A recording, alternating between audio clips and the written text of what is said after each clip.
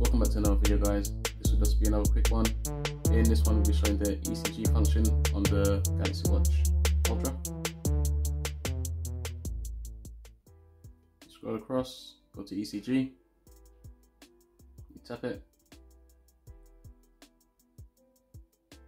You can't just tap it up here, you have to tap record. Tap up here, nothing happens. Tap record.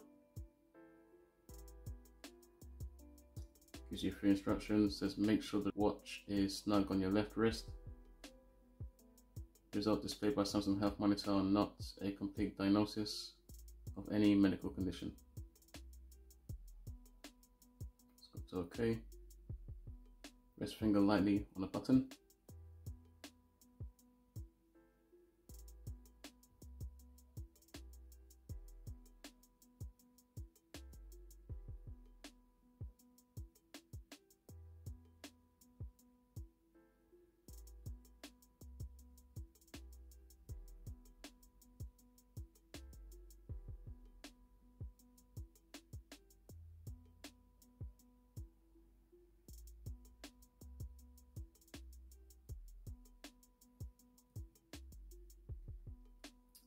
Says this ECG.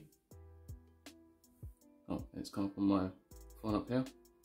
Says this ECG does not show signs of atrial fibrillation.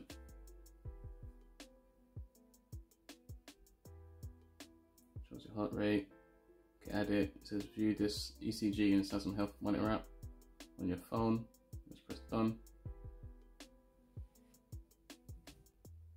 And that's the ECG that we've just taken.